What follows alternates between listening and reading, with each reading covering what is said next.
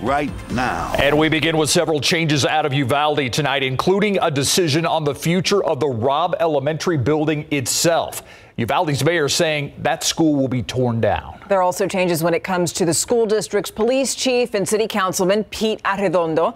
City council members voted unanimously against a leave of absence for Arredondo, and as of tonight, he has yet to appear at a city council meeting. The night team's Leigh Waldman joins us now in studio. Lee, tonight's vote doesn't affect his place on the city council, but there is a change and a chance that could change. Exactly. According to the city charter, it states that if Arredondo misses three consecutive meetings, including tonight being the first one he's now missed, then they could vote whether or not to remove him from city council. Now, Uvalde's mayor, Don McLaughlin, was asked how he would vote. He said if that happened, if that vote happened tonight, he would vote to remove Arredondo. McLaughlin also expressed uh, information on how Uh, dis- discussed rather with how information is being released. The mayor defended how the city has handled the shooting in the last four weeks. McLaughlin says information about the shooting is from DPS, the FBI, lawmakers, and the district attorney's office, not from the city of Uvalde. He says he will visit the DA's office tomorrow to find out what he can release. But people at the meeting raised concerns about graphic details getting out.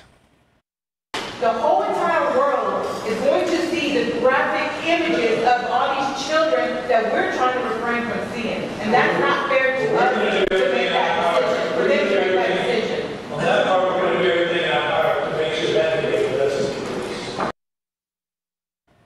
Later to reporters, McLaughlin said any images of dead children would not be released. McLaughlin also took a moment to call the DPS director, Steve McCraw, a liar. He says it was DPS, not him, who originally briefed the governor after this shooting. You can see the full meeting on our website. It's ksat.com. Stephanie. Thank you, Lee. You know, tonight we keep learning new information when it comes to the response at Robb Elementary.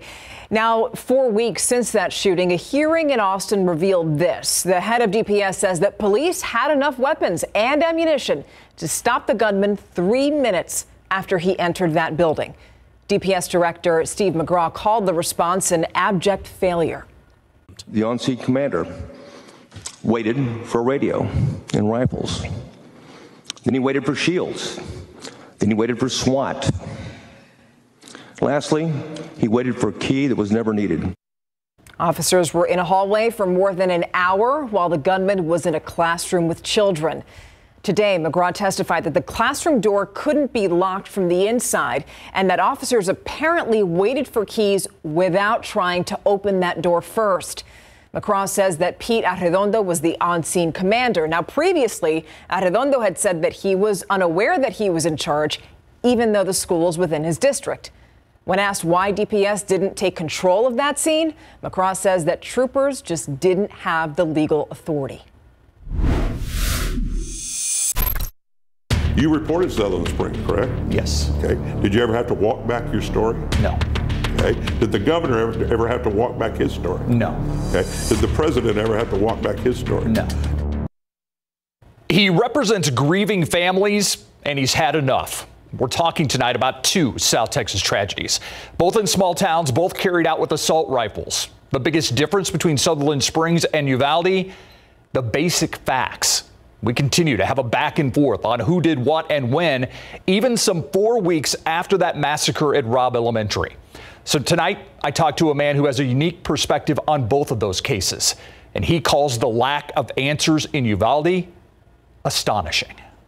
In Uvalde, it's the waiting and the waiting and the waiting. It doesn't seem like it doesn't seem like the story in Uvalde is that different that the truth can't come out is separated by four and a half years and 118 miles. Shooting scenes in Sutherland Springs and Uvalde. George LeGrand has seen firsthand the pain and frustration that lingers long after a crime scene is cleared. As one of the attorneys representing the survivors from the First Baptist Church in Sutherland Springs, they had answers in 24 to 48 hours. In Uvalde, it's four weeks and counting. Is it alarming to you the lack of information coming out of Uvalde? No, there's lots of information coming out. I'm alarmed by the flip flop all the time. The story is changing all the time.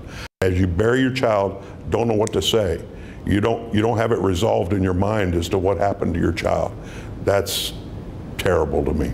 His is from a family's view. George LeGrand isn't representing anyone in Uvalde, but he does see similarities to what happened in Sutherland Springs, and maybe even a link. A federal judge awarded his Sutherland Springs clients $230 million. But after the government appealed, that ruling is now in legal limbo. Two tragedies where those left behind are still searching for a little bit of closure. A little bit of closure. But they're never going to reach full closure for burying grandma or grandpa or the little little girls and little boys at Sutherland Springs, and neither are the folks in, in Uvalde. But they are entitled to little pieces of closure here and there, don't you think? Absolutely. So why don't we try to help them get it? So, how do we help get closure? George LeGrand says we keep the story alive, or maybe I should say stories. The Sutherland Springs survivors searching for justice as the Uvalde families are searching for answers. Basic facts that all sides still can't agree on. Four weeks, 21 days after 21 lives were lost. Remember their names, yes, but also continue to keep their stories alive. A group of bipartisan senators did reach a deal on gun reform. Uh, Texas Senator John Cornyn says that the deal is going to save lives. That measure would toughen background checks for young gun buyers. It would also require sellers to conduct background checks. Gun traffickers would also get stiffer penalties. However, the bill would not raise the age requirement for assault style weapons from 18 to 21. Senate members, though, still have to debate that bill before holding a vote. Now, in the meantime, here in Texas, local leaders are hoping that state leaders do something about gun reform, too. Today starts a significant process with the committees that he's called together, but we need more than talk. We need real action. Mayor Ron Nirenberg is not giving up on demanding that Governor Greg Abbott call a special session for gun reform. Today, he signed a request for a special session with 13 other bipartisan mayors throughout Texas. They want the legislature to work on a bill that would support mental health funding and raise the age to buy assault weapons from 18 to 21. We now move to a persistent problem at the Bexar County Sheriff's Office. The constant request for more money for overtime has continued for years. And today, commissioners approved another 140,000 hours of paid overtime at the jail. Sheriff Javier Salazar brought up two reasons for the need for more money a growing jail population and staffing. When it comes to inmates, the sheriff says nearly 800 inmates should not be placed in the jail anymore. He says more than 200 inmates continue to be waiting to be transported to prison. The sheriff also says others are waiting to enter a drug treatment facility, and many of those inmates need a mental health facility. Unfortunately, in the state of Texas, we've, we've done uh, a really lousy job of building mental health beds. Uh, and we've done an outstanding job, unfortunately, I say that tongue in cheek, of, of criminalizing homelessness and mental health. Uh, we've got an over reliance on jails in the state of Texas to fix all of our problems. When it comes to staffing, the sheriff says more than 250 employees left the sheriff's office last year. So far this year, 72 people have left. He also says they've hired 120 more people with more hires expected. So, what can be done to fix this? Well, commissioners have voiced some ideas like expanding tuition reimbursement programs to encourage more prospective hires. There's also a discussion of allocating funds to organizations that can help with drug treatment and mental health. The sheriff says he's also working with Alamo colleges in hopes of encouraging even more hires. And by the way, we also continue to wait on results of the jail consultants that were supposed to come in and inspect the jail. Commissioners expect to get a review on jail operations sometime next month. Of course, we'll keep you posted. Switching gears now, I know, I know, I know it feels like we certainly got an early start this year, but today is actually the official start of summer. More of us are going to try to beat the heat by going out for a swim, so perfect time to talk about water safety. More than two dozen children have de- drowned in Texas so far this year. And even people who are considered strong swimmers have also gotten into trouble. The night team's Patty Santos has the story. It just it happens suddenly. Um, in the blink of an eye, he was he was there and then he was gone and then this photo was taken just minutes before albert aranda was pulled into a whirlpool in the comal river and drowned we should have had life jackets I, I completely agree but it just never it never crossed my mind because it's just such a relaxing, enjoyable time at the Comal. Mitch Aranda says his 62 year old dad was a water safety advocate. Water was not a fear of his at all. He could swim very well. He's sharing his family's tragedy in hopes of saving someone's life this summer. The Texas Parks and Wildlife Department reports 82 people drowned last year compared to 70 the previous year.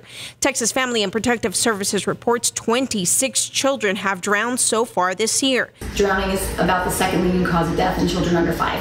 Pediatrician Megan O'Brien says children need to be watched closely around water. When children do drown, it's what's called a silent drowning. They're not going to splash, they're not going to make any noise, no one's going to notice that they've gone underwater. Experts say know the signs. That includes looking for a head tilted back and watching for panic in the face. Aranda says don't let your guard down. You want to have fun. That's the main point of going to the lake or going out to the water. But your number one concern needs to be safety. Patty Santos, KSAT 12 News. Still ahead on the night beat, crowds covered the front of the Supreme Court. The countdown to a ruling on abortion is closing in now. That developing story coming up. And new information now coming to light in the search for little Lina Khil. San Antonio's police chief sitting down with KSAT in an exclusive interview tonight. That story, by the way, is coming up next, right here on the Night Beat.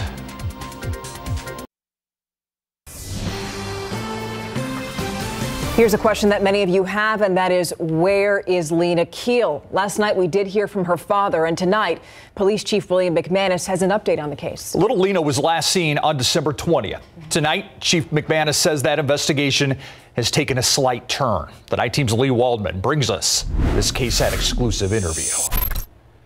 First day or today, our our goal remains the same, and that is to try to find Lina to try to get some information as to what happened to her. 183 days. That's how long it's been since Lina Khil vanished. I mean, nobody disappears out of thin air. Something happened to her.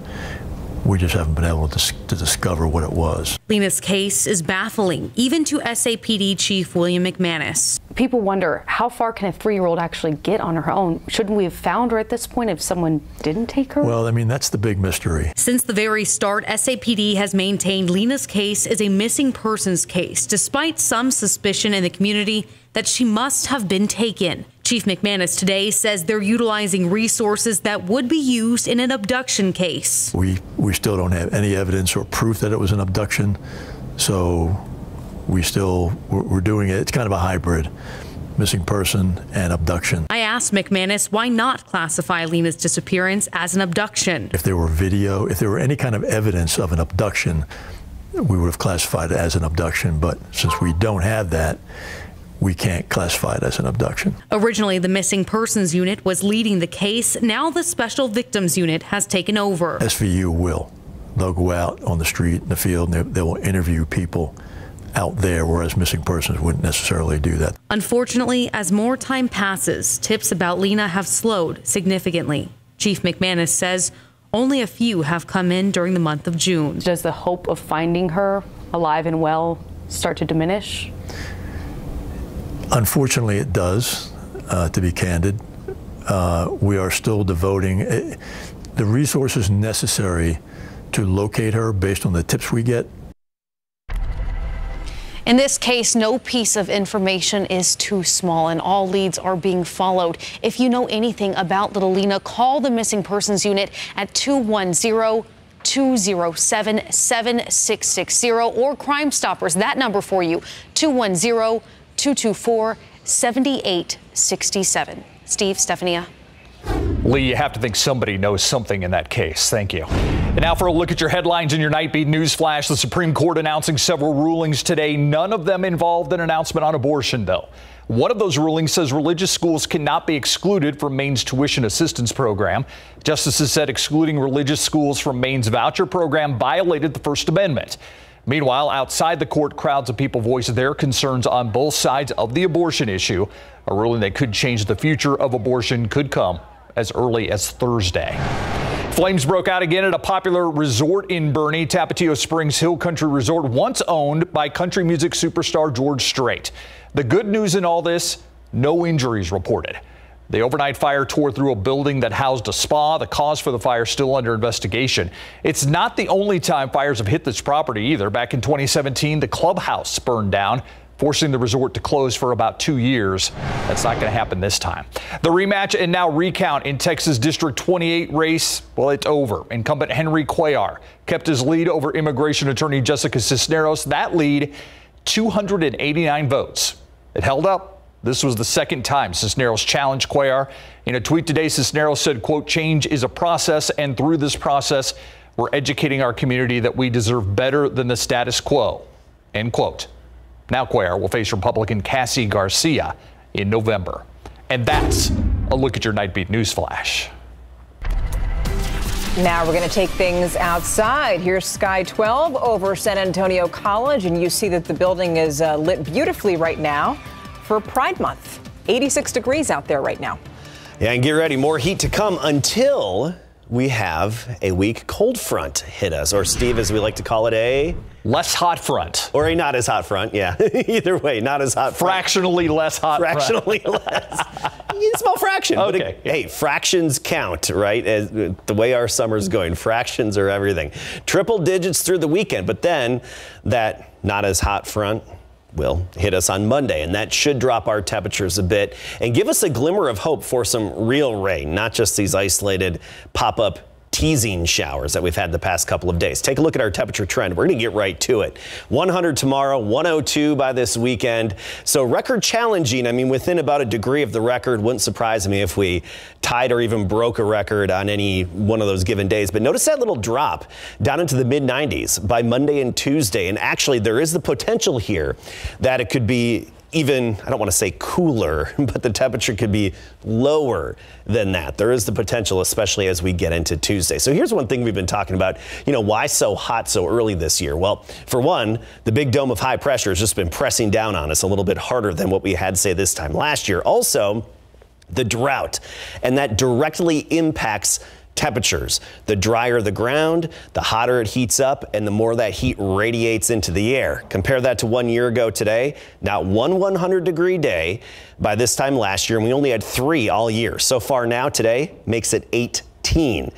And look at this, no drought either. And actually, by this time last year, we had over 15 inches of rain year to date. So far this year, four and a half.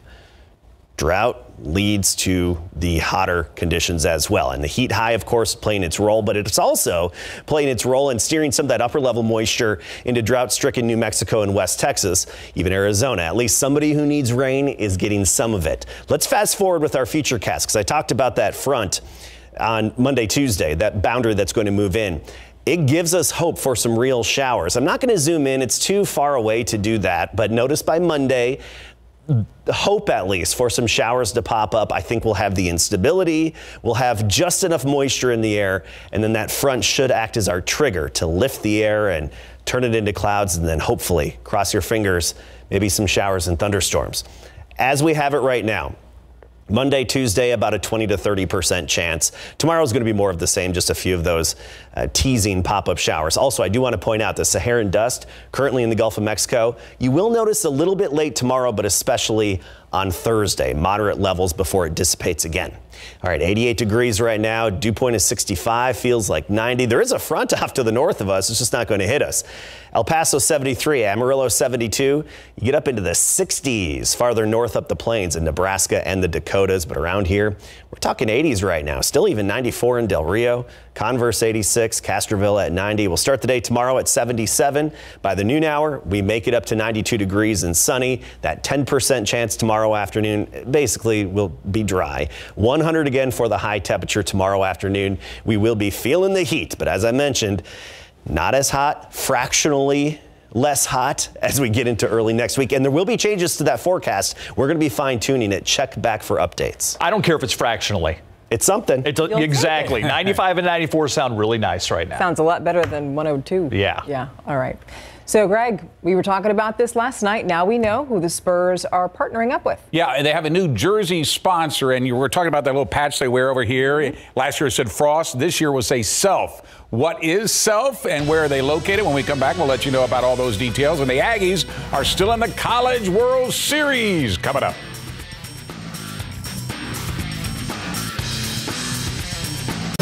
San Antonio Spurs announcing a new jersey sponsor today is Self Financial or just Self that will read on the patch, an Austin-based company with credit building technology. Josh Primo was today's jersey model as Self replaces San Antonio-based Frost Bank, who chose to put their money and their name on the Rock at La Cantera. That's the Spurs' $500 million development on the northwest side that will include the Spurs' new training facility and state-of-the-art medical and research offices to go along with the park and community spaces. The CEO of Spurs Sports and Entertainment, R.C. Buford, on hand at the AT&T Center for today's big announcement, including Self Financial officials. Values alignment is first, and I think from there, it was really trying to, to help each other um, find out ways that we could in, improve and build our brands. What attracted us to the Spurs is the company's values around integrity. Um, it's been absolute pleasure to work with, and you know we've also seen that customers uh, like the Spurs a lot. So it's just been a perfect partnership and uh, we're really excited for the future. The next order of business for the Spurs will be announcing a new naming rights sponsor for their home arena after their 20-year deal for $40 million with AT&T expired at the end of last season. That should come before this fall. Pro football coverage, powered by Davis Law Firm. Former Texas, now Cleveland Browns quarterback Deshaun Watson has reached confidential settlements with all but four women that have filed civil lawsuits against him for his sexual assault and misconduct during massages. According to Houston attorney Tony Buzbee, who says the settlements are for 20 of the 24 lawsuits that are currently facing Watson, but Buzbee declined to say for what amount the lawsuits were settled for. Buzbee added that they're still working on the other four, looking forward to trying those cases possibly in court. Watson is not facing any criminal charges after two separate grand juries failed to indict him, but he is facing punishment from the NFL for violating the league's personal conduct policy that could include up to a year's suspension, if not more. It is unclear if the Houston Texans organization will face any punishment following a New York Times investigation that said the Texans provided Watson access to the Houstonian for some of those massages and non disclosure agreements. The Aggies live to play another day. Next. Fighting Texas Aggies face another elimination game as they went up against the Cinderella story, Fighting Irish of Notre Dame in the College World Series today. No score. Top of the third inning, the Aggies are the bases loaded. The Irish bring in their star freshman Jack Findlay to get them out of a jam. And after one strikeout, the defense lets him down. Dylan Rock with a shot to the hot corner, but the throw from third to first hits the dirt. They can't dig it out. Two runs will score, including Boerne champions Jason Thompson. And the Aggies take a 2 0 lead. It would be 3 0 following a sac fly. Top of the fifth now, Trevor Werner with the whammy. The solo blast to left makes it four to nothing. The Aggies never look back. They get the five to one win. After Friday, I felt just terrible. Like I let my team down. But to come back and to have coach give me the ball just two games later, uh, all that confidence just flowed through me. When De- Dettmer's out there rolling and we're spending, you know, five minutes on defense, I mean, it saves a lot of energy, and you get just get right back on them and keep the pressure on, you know, Notre Dame, and that's what we did all day, and I think that's what helped us be successful and get the win. All right, next up a rematch with OU at one tomorrow. In fact, they're going to have to beat the Sooners twice in this because they've lost already once to OU, 13 to 8. So they're going to have to win tomorrow and then one more time to stay involved. All right, thank you, Greg. Fingers crossed. We'll be right back. Right now on KSAT.com, our team takes you underground and into the Honey Creek Cave in Comal County. Some have called it a slice of paradise. The cave is under privately owned land, but we were able to get special access. You can take a look right now on KSAT.com. You know, some people cover stories. Our weather team dives right in. Oh boy! You know what though? It is a really cool story. So it's a great story. look at it. I yeah. love it. And I mean, Justin Horne, Sarah Spivey, they they get those connection, the hookups, you know, for those places like yes. private land. Then they're they're diving in the caves underwater. Fascinating. All right, 97 tomorrow, Timberwood Park, 96 Boerne, Lake Hill's about 101, Elmendorf 100, and a few degrees warmer as we get into the weekend. Then some changes early next week. We'll keep you updated on those. All right, Thank so- you, Adam. And that does it for the night beat. We'll see you at 4:30.